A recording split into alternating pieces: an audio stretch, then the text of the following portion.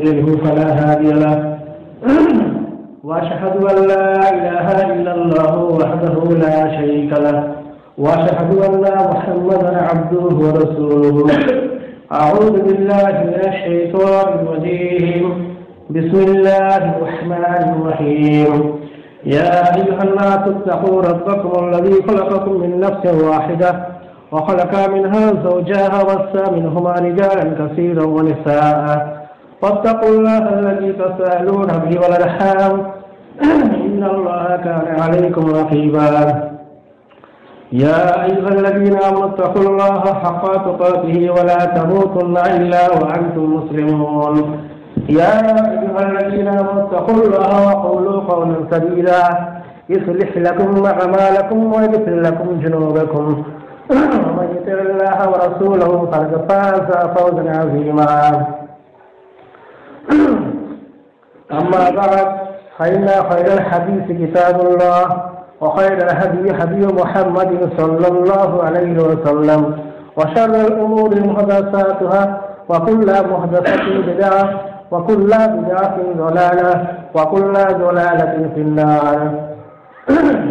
قال الله تعالى في كلامه المجيد أعوذ بالله من الشيطان الرجيم. بسم الله الرحمن الرحيم هل أتاك حديث الغاشية وجوه يومئذ خاشعة عاملة ناصبة تصلى نارا حامية تسقى من عين عالية ليس لهم طعام إلا من جريع لا يسمنها يغني من جوع إلى آخر الآيات সমস্ত প্রশংসা সেই মহান রব্বুল আলমের জন্য যিনি আমাদেরকে সৃষ্টি করেছেন অতপর সৃষ্টি করার পর যা কিছু প্রয়োজন, এই পৃথিবীর বুকে যে জীবনযাপন করার জন্য সমস্ত কিছু উপাদান আমাদেরকে তার বিশেষ নিয়ামক হিসাবে দান করেছেন, সেই আল্লাহর প্রশংসা আমরা বলি আলহামদুলিল্লাহ। অতপর আফির নবী আহমদ মোস্তফা, মোহাম্মদ মোস্তফা সাল্লাহ আলহিমসাল্লাম ও তার পরিবারের উপরে অবতীর্ণ হওয়ার সঙ্গে দরুদ ও সালাম। আল্লাহ সাল্লি আলাই আল্লাহ বারিক আলাই। বর্তমান যে যুগ চলছে, এখন যে সময় চলছে যদি সঠিক দৃষ্টিকোণ থেকে দেখা যায় মুসলমানদের অবস্থা, তাহলে কাল কিয়ামতের দিনের যে হিসাব নিকাশের অবস্থা হবে, তার রেখা আমরা দেখতে পাবো এই পৃথিবীর বুকে। কারণ কাল কেয়ামতের দিনে যে হিসাব নিকাশের ব্যাপার আছে, সেখানে কিন্তু হিসাব নিকাশ যারা আল্লাহ তারা ছাড়া অন্যের ইবাদত করে, অন্যের পূজা করে, সেটা মূর্তির ইবাদত করুক বা চন্দ্র, সূর্য, আগুন, বিভিন্ন ধরনের সৃষ্ট বস্তু, গাছ, পাথর, প্রতিমা, যার ইবাদত করে অন্য অন্য ধর্মের মানুষ এক কথায় যারা শিল্পের কাবিরা করে, আল্লাহ সুবহানাহু তাআলা ছাড়া অন্যের ইবাদত করে, অন্যের কাছে মাথা নত করে, অন্যের কাছে কিছু চায়, অন্যের কাছে নিজেদের চাহিদা পূরণের জন্য শর্ত সাপেক্ষে তারা মানত করে, তাদেরকে কিন্তু বিনা হিসাবে জাহান নামে পাঠিয়ে দেওয়া হবে। আর এই মুসলিম জাতি আল্লাহ সুবাহতলা পৃথিবীর সৃষ্টি করার পর, মানুষকে সৃষ্টি করার পর, প্রথম মানুষ হতে সৃষ্টি করে, শুরু করে, শেষ পৃথিবীর বুকেতে যে শেষ প্রাণীটা মানুষ জন্ম নেবে, সেই মানুষ পর্যন্ত যে হিসাব গ্রহণ করবে, যুগে যুগে কালে কালে মানুষের সঠিক পথের দিশার জন্য আল্লাহ সুবাহতলা বিভিন্ন যুগে, বিভিন্ন কালে পৃথিবীর বিভিন্ন স্থানে বিভিন্ন ভাষায়, বিভিন্ন জাতির কাছে নবী এবং রসুল মনকে প্রেরণ করেছেন। সুরা ইব্রাহিমের আয়াত নম্বর চারে আল্লাহ সুবহানাহু এটাও বলে দিয়েছেন যে প্রত্যেক নবীকে যেখানেই প্রেরণ করা হয়েছে, সেই স্থানে বাসিন্দাদের ভাষা যেটা ছিল, সেই ভাষায় নবী প্রেরণ করা হয়েছে।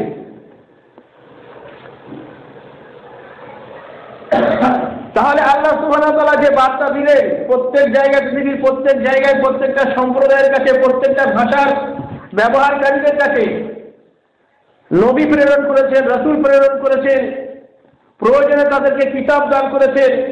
কিসের জন্য? এই পৃথিবীতে আল্লাহ সুবাহ যে আমাদের প্রেরণ করেছেন, তত মানুষকে এবং জিনকে প্রেরণ করেছেন। আল্লাহ সুবাহ বলে দিয়েছেন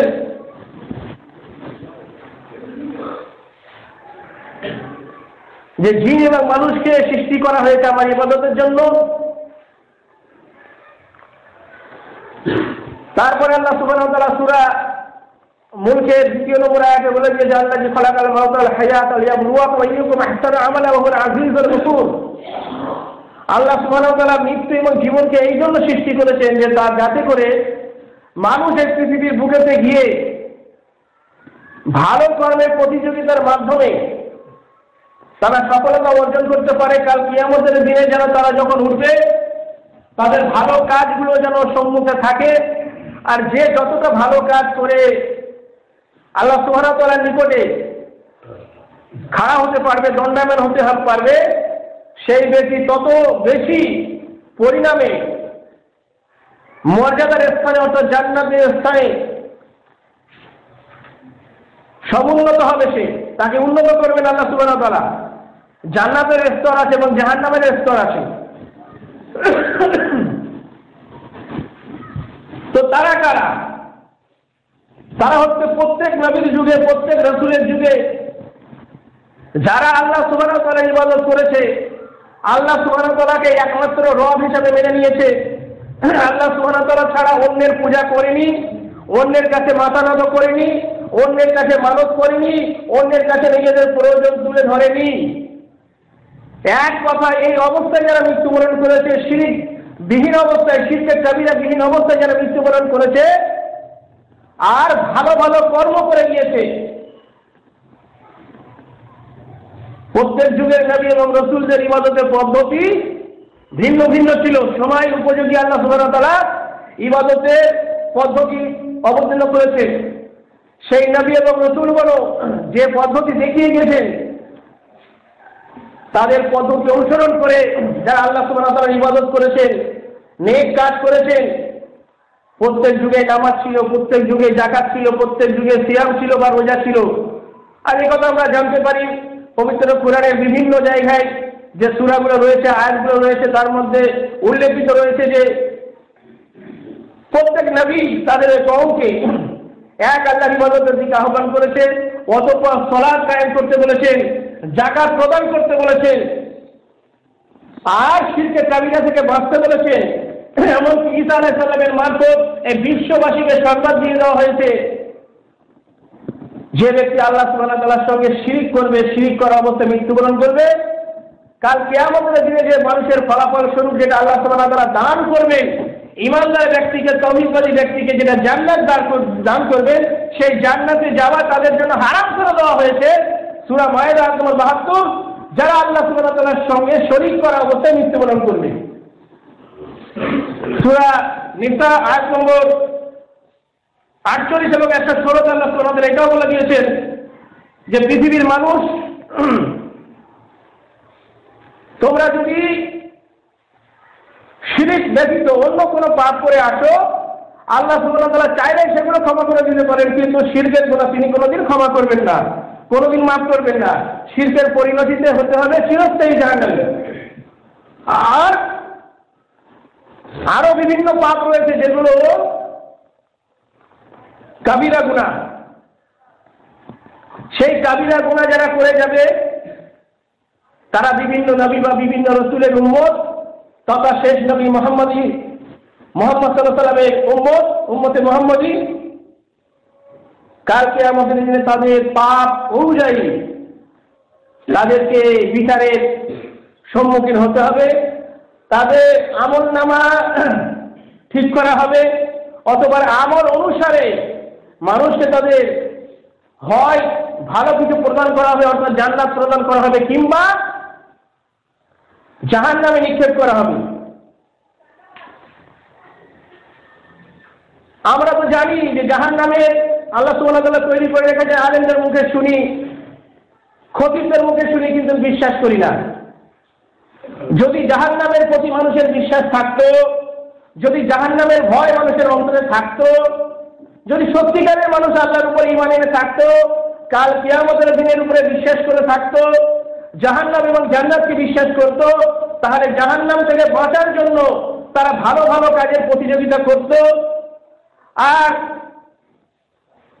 তারা পাপ কাজ থেকে বিরত থাকতো।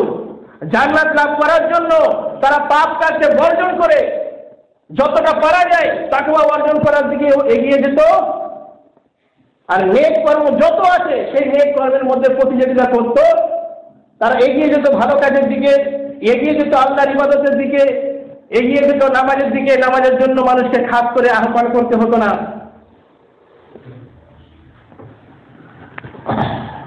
আল্লাহ সুবাহ কাল কিয়ামতের দিনে মানুষের কি অবস্থা হবে, সেই সমস্ত কিছু বর্ণনা করেছে বিশেষ করে পাখিদের কি অবস্থা হবে। প্রত্যেক জুমাতে সুরা পড়া হয়, সুরা গাছিয়া সেই সুরার সাতটা, প্রথম সাতটা আয়াতেই ইঙ্গিত রয়েছে। হালে আতাকা হাদিসুল গাছিয়া আল্লাহ সুবহানাহু তাআলা বলছেন তোমার কাছে কি আচ্ছাদনকারী অন্ধকার দিনের কথা পৌঁছেছে। অন্ধকারে যিনি আচ্ছন্ন হয়ে থাকবে পাখিদের নিকটে সেটা হচ্ছে অন্ধকারের দিন, সেটা হচ্ছে আচ্ছাদনকারীর দিন। অর্থাৎ পৃথিবীতে পাপ করতে করতে তারা এমন অবস্থায় পৌঁছে গিয়েছে যে সেই পাপি অবস্থায় মৃত্যুবরণ করেছে। কাল আমাদের দিন তাদের চেহারা অন্ধকার হয়ে থাকবে।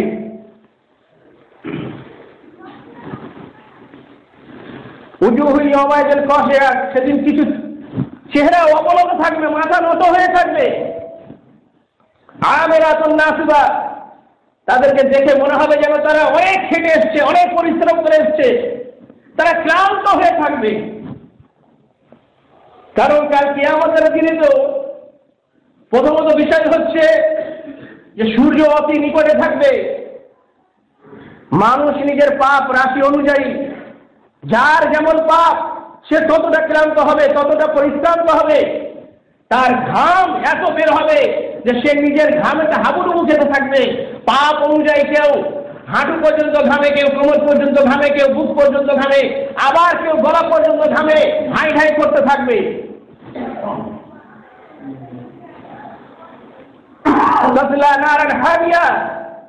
তাদেরকে প্রবেশ করানো হবে। জ্বলন্ত অগ্নির মধ্যে, জ্বলন্ত আগুনের মধ্যে তাদেরকে প্রবেশ করানো হবে।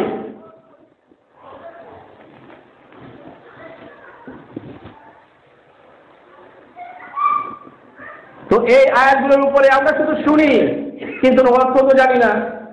অর্থ জানার চেষ্টাও করি না।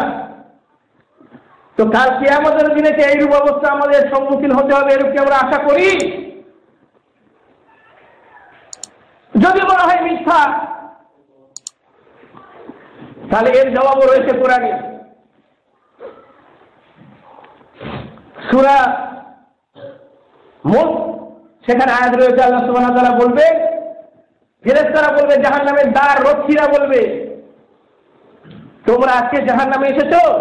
তোমাদের কাছে কি আল্লাহ তাআলার এই জাহান্নাম যে আছে পাখিদের জন্য, নামাজ পরিত্যাগকারীদের জন্য, রোজা পরিত্যাগকারীদের জন্য, বিভিন্ন ধরনের পাপ কাজে লিপ্ত থাকার, যারা থেকেছে পৃথিবীতে, তাদের জন্য যে আল্লাহ জাহান্নাম তৈরি করে রেখেছে, এর সংবাদ কি তোমাদের কাছে কেউ নিয়ে আসেনি?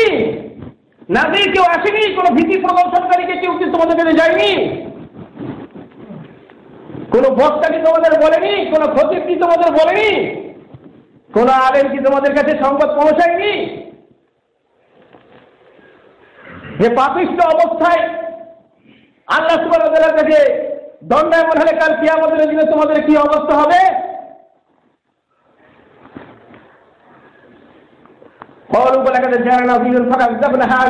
তখন সেই ব্যক্তিরা বলবে হ্যাঁ আমাদের কাছে পৌঁছেছিল। আমাদের কাছে ভীতি প্রদর্শনকারীরা এসেছিল আলে মোলারমারা এসেছিল, বক্তারা এসেছিল। যারা কোরআন নিয়ে, হাদিস নিয়ে আমাদেরকে ভীতি প্রদর্শন করত, কিন্তু তাদেরকে আমরা মিথ্যুক ভেবেছিলাম। তাদের কথা বিশ্বাস করিনি। তাদের কথা শুধু ডান কান্দে শুনেছি বাম কান্দে বের করে দিয়েছি। তাদের কথা আমরা বিশ্বাস করিনি। তাদের কথা যদি বিশ্বাস করা হতো, তাহলে আজকে সেই পরিণাম হতো না। কালকে আমাদের দিনেতে জাহান্নামীদেরকে যখন জাহান্নামীর ধারণা জিজ্ঞেস করবে, তারা স্বীকার করবে যে হ্যাঁ কারণ সেই দিন তো অস্বীকার করার কোনো ব্যাপার নেই। সেই দিন তো দর্শন করে নিয়েছে তাদের চোখ। সেই দিন তো তারা শাস্তির মধ্যে লিপ্ত রয়েছে।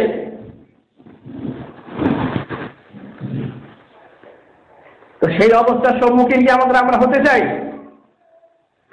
যে ব্যক্তির অন্তরে, যে ব্যক্তির হৃদয়ের মধ্যে ইমান রয়েছে নিশ্চয় সেই ব্যক্তি আল্লাহকে ভালোবাসে আর আল্লাহর ইবাদত করতে চায়। আর যে ব্যক্তি আল্লাহকে ভালোবাসে, সে ব্যক্তি তার নবীর অনুসারে আমল করবে। আর নবী এবং তার কিতাব অনুযায়ী যদি আমল করা হয়, নামাজ আদায় করা হয় জাকাত প্রদান করা হয়, বিভিন্ন নেক কাজে যদি প্রতিযোগিতা করা হয়, আর বিভিন্ন ধরনের যে নিষেধাজ্ঞা কাজ রয়েছে শরীয়তের মধ্যে, সেই সমস্ত কিছু পরিত্যাগ করে যদি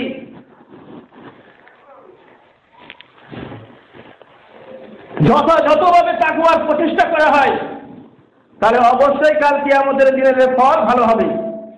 কিন্তু যদি এর বিপরীত হয়, নামাজের কথা শুনি, নামাজের সময় চলে যাই, নামাজ পড়তে আসি না। রমজান মাস চলে যায় উপর দিয়ে। অনেক বাচ্চা ছেলেও রমজানের রোজা রাখে, কিন্তু হৃষ্টপৃষ্ট দেহ নিয়ে মানুষ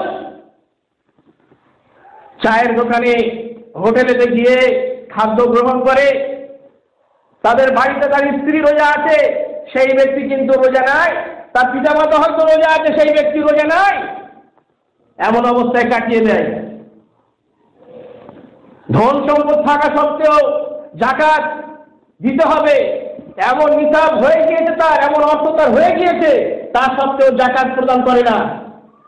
ফসল কাটছে, ফসল কাটার পর তার ফসল নির্দিষ্ট সীমানা পার করে গিয়েছে পাঁচশো ষাট কেজির উপরে হয়ে গিয়েছে। সেই ব্যক্তি ওষুধ পর্যন্ত দেয় না। আর তারপরে বিভিন্ন ধরনের পাপ যেগুলো রয়েছে, অশ্লীল ভাষা, গালাগালি, হালাল খাদ্য পরিত্যাগ করে হারাম খাদ্য গ্রহণ করা, এই সমস্ত কাজে সে লিপ্ত রয়েছে। আর এই লিপ্ত থাকার একটাই কারণ, প্রকৃতভাবে আল্লাহ সুবহানাহু তার দিনকে বিশ্বাস করতে পারেনি। কেবলমাত্র মুসলমানের ঘরে জন্ম নিয়েছে। সে পুরুষ হোক বা নারী হোক, তার নাম রাখা হয়েছে মুসলমানি। আরবিতে তার নাম রাখা হয়েছে। পুত্র পুত্র সন্তানের খাতনা করা হয়েছে। তো এই সূত্রে তারা মুসলমান। তার পরিচয় পত্রটা আধার কার্ড হোক আর ভোটার আইডি কার্ড হোক আর যে কোনো কার্ড হোক সেখানে লেখা আছে, জাতিজি মুসলিম। এই সূত্রে সে মুসলমান। আমি প্রথমেই বললাম যে যদি বিচার দৃষ্টিতে দেখা যায়, কাল কিয়ামতের স্পষ্ট। যে হবে কাল কিয়ামতের দিনে যেটা স্পষ্ট হবে। আল্লাহ রসুল সাল্লাম বলছেন যে, যখন আদম আলাইসাল্লামকে দাঁড় করানো হবে আর বলা হবে, এবার আদম সন্তানের বিচার চালু হবে। আদম সন্তানের মধ্যে জান্নাতি এবং জাহান্নামি বাছাই করতে হবে। কতজন জান্নাতে যাবে, কতজন জাহান্নামে? প্রতি হাজারে নয়শো নিরানব্বই জন যাবে জাহান্নামে, আর একজন যাবে জান্নাতে। আজকে যদি আপনি তাকিয়ে দেখেন চারিদিকে চারিদিকে তাকিয়ে দেখেন, কটা মুসলমানকে পাবেন যারা প্রকৃতপক্ষে আল্লাহকে বিশ্বাস করে, আল্লাহকে ভয় করে বিভিন্ন কাজ, বিভিন্ন পাপের কাজকে পরিত্যাগ করে, আর কাল কিয়ামতের দিনে ভালো ফলাফলের আশা করে নেকির কাজ করে। প্রথমত বিষয় হলো, একশো তিয়াত্তর ফিরকা। তারপরে যদি একটা ফিরকার মধ্যে ধরে নিই যে কোরআন এবং হাদিস মান্য ওয়ালারা যাদেরকে দাবি করে, শুধুমাত্র নামাজের জন্য মসজিদ বিভাগ হচ্ছে আজকে। পরিষ্কার কথা এটাই, সত্য কথা এটাই, শুধুমাত্র নামাজের তরিকার জন্যই, রফে হেদান করার জন্য, বুকে হাত বলার জন্যই, জোরে আমিন বলার জন্য আর পায়ে পায়ে মেলানো আর কাঁধে কাঁধ নামাজ পড়ার জন্যই পৃথক হচ্ছে এছাড়া আমলে আছে, দেখুন তো, সব এক। শুধু বুকে হাত বেঁধে জোরে আমিন বলে পায়ে পা মিলিয়ে কাঁধে কাঁধ মিলিয়ে নামাজ পড়লে আর রফলে গান করলে জান্নাত যাওয়া যাবে না।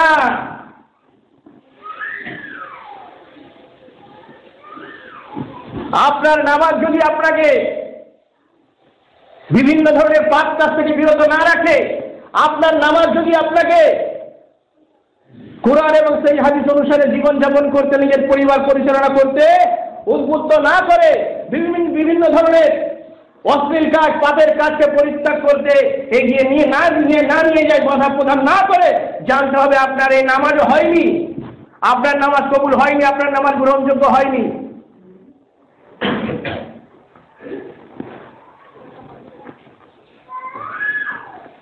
শুধুমাত্র মুখে বলব আমরা আহরুল হাদিস মসজিদে নামাজ পড়ি। আমরা আহরুল হাদিস আহরুল হাদিস মানে কি? হাদিস ওয়ালা, হাদিসকে মানলে মাননেওয়ালা হাদিসের পথে চলনেওয়ালা হাদিসের প্রচার করনেওয়ালা প্রথমত বিষয় হলো আমরা তো যারা এই এই মুহূর্তে সমগ্র ভারতবর্ষে যদি ধরা ধরা যায় আহরুল হাদিসের লোক আছে আহরুল হাদিসের মসজিদ আছে, তাতে নামাজ পড়ে। জুমার নামাজ পড়ে সে আহলুল হাদিসদের মধ্যে শুধু ধরছি। বাহাত্তরটা ফিরকাকে ছেড়ে দিয়ে যদি ধরা হয় একটাই ফিরকা। তাহলে এদের মধ্যে নাইনটি পার্সেন্ট মানুষ জাহান নামে যাওয়ার কারণ হচ্ছে কারণ এদের মধ্যে নাইনটি পার্সেন্ট মানুষই জুম্মা ছাড়া অন্যদিন নামাজ পড়ে না।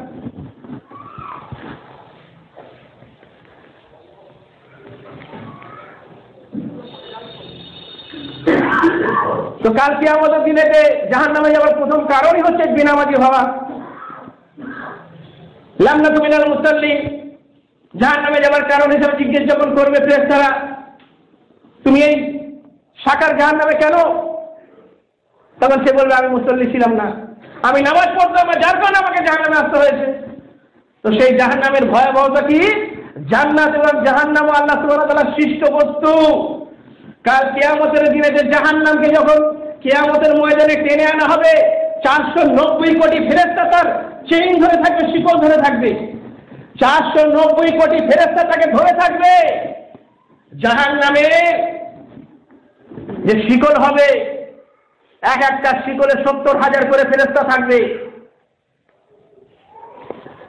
সত্তর হাজার শিকল হবে তাকে টেনে ধরে থাকবে তবু জাহান্নাম যেন কিয়ামতের ময়দানে যারা উপস্থিত আছে তাদেরকে খেয়ে ফেলার জন্য ছুটে যাবে।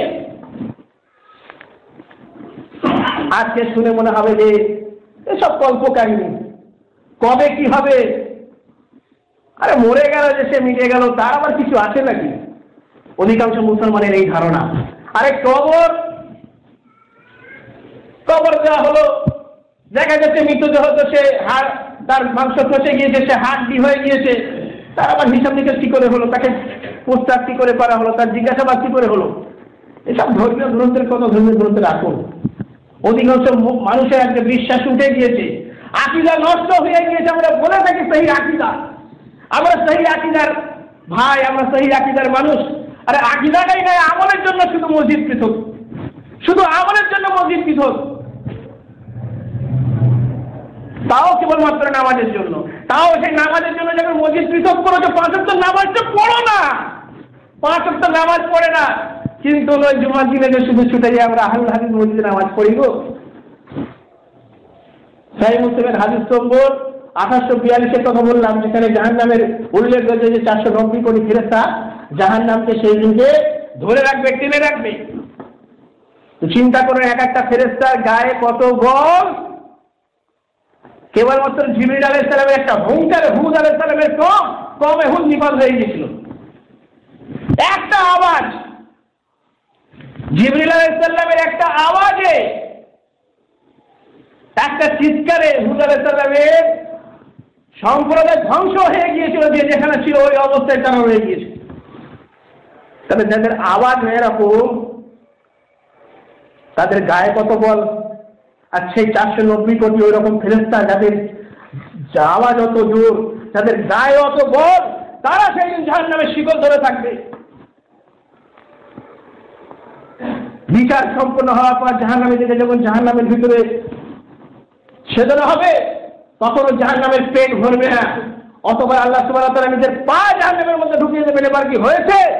তৃপ্ত হয়েছে তুমি? তখন সে বলবে, ব্যাস ব্যাস, আর না।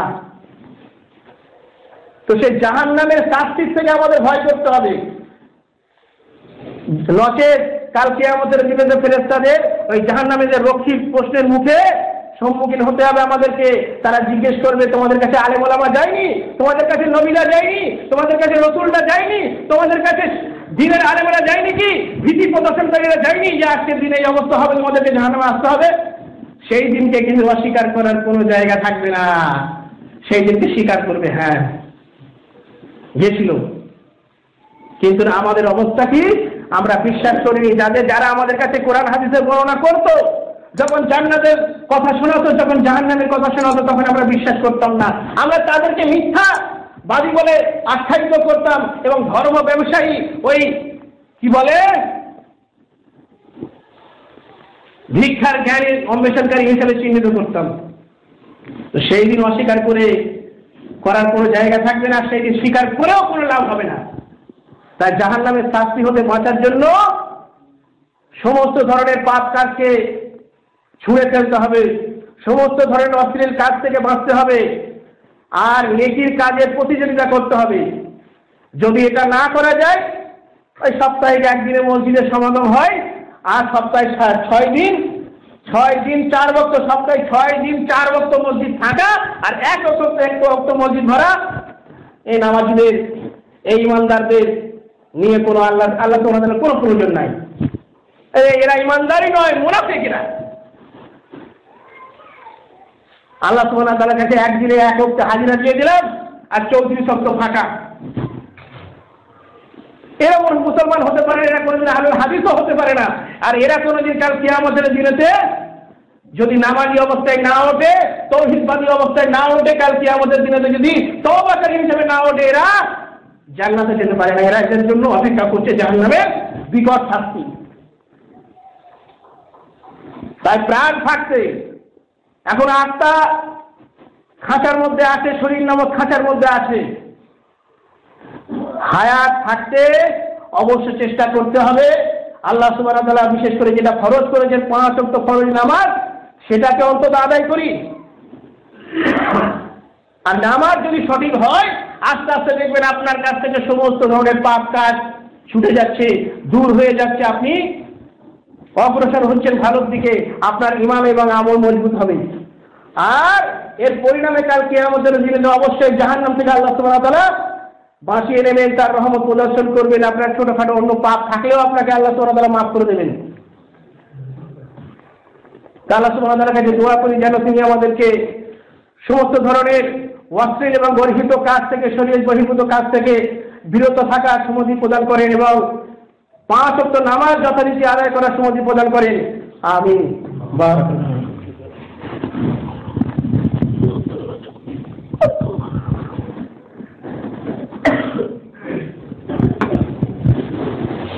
الحمد لله وهذا من لا عباد الذي بعد والصلاة والسلام على رسول الله أما بعد أعوذ بالله من الشيطان الرجيم لآكلون من شجر من الزقوم فمالئون منها البطون فشاربون عليه من الحميم فشاربون شرب الحميم إلى آخر الآيات তো যে সুরাটি আমি পাঠ করেছিলাম সুরা নাসিয়ার এক থেকে সাত নম্বর আয়াত তার সঙ্গে মিলে যাচ্ছে সুরা ওয়াকিয়ার যে আমি পাঠ করলাম। তো প্রথম হচ্ছে, কাল কিয়ামতের দিনেতে পাপীদের জন্য একটা অন্ধকার অচ্ছন্ন দিন। সেই দিন পাপীদের মস্তক নত থাকবে। সেই দিন মনে হবে যেটা পরিশ্রাম ক্লান্ত অবস্থায় এসেছে। কারণ দেখুন, আজকে দেখুন, আজকের দিনেতে আজকের দিনেতে কি হচ্ছে একটা হিন্দু ভাইদের একটা স্নান হচ্ছে, গঙ্গা সাগর স্নান, সেখানে পাপ নাকি সব ধুয়ে যাবে। তো সেখানে কিন্তু অনেক পরিশ্রম করছে তারা। তাদের আকিদায় তারা খুব পরিশ্রম করছে। কিন্তু এই পরিশ্রমের ফল কি তারা পাবে কালকে আমাদের দিনেতে? দ্বিতীয় খলিফা ওমর ফারুক রাজিয়াল তালাহ সামনে তো সফরে গিয়েছিলেন, তখন ফেরার সময় দেখছেন যে একটা ইয়াহুদি পণ্ডিত, সে নিজের সারা জীবন ধর্মের কাজে ব্যয় করে দিয়েছে, অতিবাহিত করে দিয়েছে। এমনকি সে উপবাস করতে করতে, তাদের হিসাব ইবাদত করতে করতে, সে নিজের জীবনকে ক্লান্ত করে নিয়েছে, তার চামড়া শুকিয়ে গিয়েছে, তার চেহারা ঝুলে গিয়েছে, বৃদ্ধ অবস্থায় চলে গিয়েছে।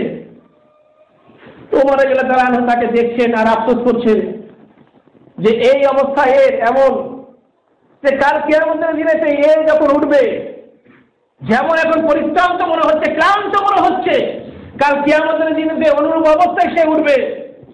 কিন্তু তার অবস্থা কি হবে? তাকে জ্বলন্ত অগ্নিকুণ্ডে প্রবেশ করানো হবে। তো ফুটন্ত পানি তাকে পান করতে দেওয়া হবে।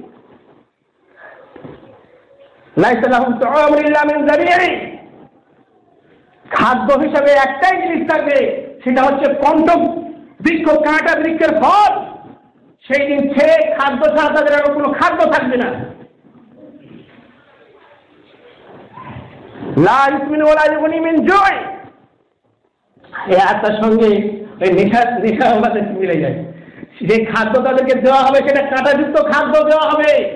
খেতে যাবে লাকিলুন মিন শাজারিন মিন জাক্কুম জাক্কুম ফল তাদেরকে খেতে দেওয়া হবে। খেতে গিয়ে গলায় আটকে যাবে। হামালে উনা মিনাহাল কুতুন সেটাই তারা খাদ্য হিসাবে পান করবে। পরিত্রান্ত অবস্থায় পানি চাইবে জাহান নামে যে পুজ, রক্ত জমা হয়ে যেগুলো গরম ধরেছে সে ফুটন্ত গরম পানি পুষ পান করতে দেওয়া হবে। সেটা তারা পান করবে। কষ্টের জ্বালায় পান করবে পান করার সঙ্গে সঙ্গে তাদের নারী ভূমি সব বের হয়ে যাবে। এমন পরিস্থিতির সম্মুখীন কি আমরা হতে চাই? নাকি এর থেকে বাঁচতে চাই? এই শাস্তি কি আমরা পেতে চাই? কোনো মানুষ নিশ্চয়ই চাইবে না। যদি দেখে নিত মানুষ, মোহাম্মদ সাল্লাম বলছেন যারা মৃত্যুবরণ করেছে তাদের অবস্থা যদি তাদের সঙ্গে কি ব্যবহার করা হচ্ছে পাখিদের সঙ্গে যদি মানুষের কানে এটা পৌঁছাতো। জীব এবং মানুষ ছাড়া পৃথিবীর সমস্ত জন্তুর জীব জন্তুদের কানে ওই শব্দ, তাদের চিৎকারের শব্দ পৌঁছায়। যদি জিন এবং মানুষের শব্দ শুনে যেত তাহলে তারা পৃথিবীর সংসার জীবনকে ত্যাগ করে জলে, জঙ্গলে চলে যেত।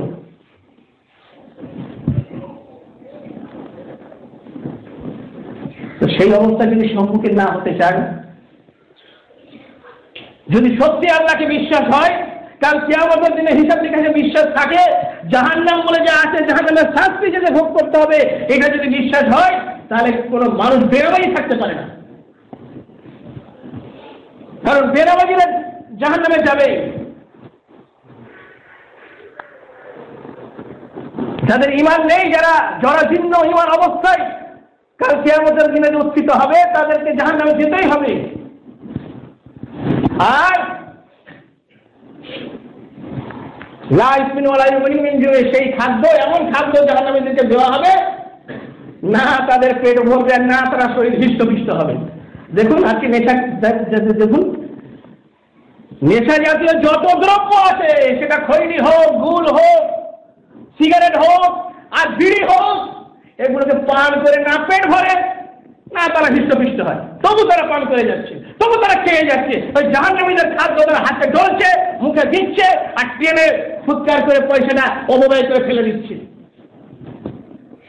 জাহান্নামীদেরকে যে খাদ্য দান করা হবে সেই খাদ্য না তাদের হৃষ্টপিষ্ট করবে, না তাদেরকে পেট ভরতে সহযোগিতা করবে। ওই জাহান্নামীদের খাদ্য এখনও ইমানদার হয়ে আহমদ হাদিসের হয়ে আহমদ হাদিসের নেতা হয়ে আহমদ হাদিসের মসজিদের গণ্যমান্য ব্যক্তি হয়ে এখনও খেয়ে যাচ্ছে, এখনও চলে যাচ্ছে, ছাড়া যেতে পারে ছাড়া যাবে না। আর তুমি যদি ছাড়তে না বলো জেনে রাখবে জাহান্নামীদেরকে ওই খাদ্য দেওয়া হবে, যেমন তুমি খাদ্য খাচ্ছ, আর তুমি যদি এই খাদ্য খেতে খেতে মারা যাও, তোমার ইবাদত কবুল হবে না হবে না। ইবনে মাজার হাদিসে আল্লাহ রসুল সাল্লাল্লাহু বলছেন, যে ব্যক্তি নেশা জাতীয় দ্রব্য পান করবে, তার চল্লিশ দিনের ইবাদত কবুল হবে না। আর তুমি সর্বদাই পান করে যাচ্ছ, সর্বদাই খেয়ে যাচ্ছ, সর্বদাই ব্যবস্থা করে যাচ্ছ, ব্যবহার করছ। সর্বদা নেশা জাতীয় দ্রব্য যে ব্যক্তি ব্যবহার করে শিল্পের সঙ্গে তুলনা করা হয়েছে। তো শুধু মুখে দাবি করলে হবে না, কাজে পরিণত করতে হবে। আমি আলোর হাদিস, কিসের জন্য আমি হাদিস হয়েছি অধিকাংশ চ্যালেঞ্জ করে বলছি, অধিকাংশ মসজিদ আলাদা হয়েছে কেবলমাত্র এই নামাজের জন্য, আর কোনো কিছুর জন্য নয়।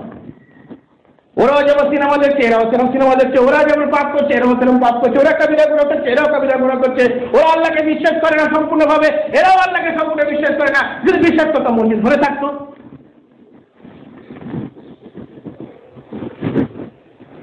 এরা হয়তো শিরিক বিদার থেকে বেঁচে থাকে, কিন্তু বেঁচে থাকলে কি হবে? শিরিক করছেন না। আপনি বলছেন, শিরিক করছেন না? আরে আপনি তো নিজে নফসের আনুগত্য করছেন। আল্লাহ বলে যে নামাজ পড়তে আল্লাহকে রব হিসাবে মেনে নিয়েছেন। যদি রব হিসাবে মেনে নিয়ে থাকেন, তাহলে ইবাদত করতে হবে। যদি রব হিসাবে মেনে নিয়ে থাকেন, তাহলে ভালো ভালো কাজ করতে হবে। তো সেটা তো হয় না। ওদের সঙ্গে আমাদের সঙ্গে পার্থক্য আমি তো দেখতে পাই না বেশি।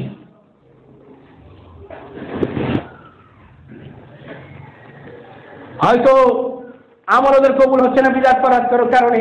আপনি বলছেন, আমার আমল আমল কবুল হচ্ছে, ঠিক আছে। আপনার আমল তো কবুল হবে তখন যখন নামাজকে আপনি হেফাজত করবেন। নামাজ ছাড়বেন না, যেখানে হোক, যে অবস্থায় হোক। নামাজ পড়তে হবে। কাজা হয়ে গেলে পরে সেই নামাজ পরের অবস্থা আদায় করতে হবে। নামাজ পড়ার সময় পেয়েও নামাজকে হেলাই ভুলে যাবেন না। এই সমস্ত কর্মকাণ্ড যেন আমাদের ভিতরে নেই। আমাদের নামাজের হেফাজত নাই। ভালো কাজের প্রতিযোগিতা নাই। আর এই জাহান্নাম থেকে বাঁচতে হলে অবশ্যই সমস্ত ধরনের পাপ কাজকে, সমস্ত ধরনের নেশা থেকে তবা করতে হবে। পাঁচ অক্ট নামাজের হেফাজত করতে হবে। ভারী রাত্রে উঠে আল্লাহ সোনা তার নিকটে কান্না করতে হবে। কারণ মহারাম সাল্লাম বলেছেন, জাহান্নামের পানিকে, জাহান্নামের আগুনকে জাহান্নামের আগুনকে নিভে দিতে পারে কেবলমাত্র তাকওয়াশীল ব্যক্তির। যদি সে রাতের অন্ধকারে উঠে তাহার নামাজ আদায় করে আর মহান আল্লাহর ভয় করে জাহান্নামের শাস্তির ভয় করে যদি তার চোখ দিয়ে এক ফোঁটা পানি বেরোয় সেটা জাহান্নামের আগুনের জন্য যথেষ্ট। হ্যাঁ, পাঁচ ওয়াক্ত নামাজেরই খবর নেই আর তার নামাজ পড়ছে। দান সৎকার করতে হবে। আল্লাহ রসুল সাল্লাম মুখারি হাদিসে বলছে যে তোমরা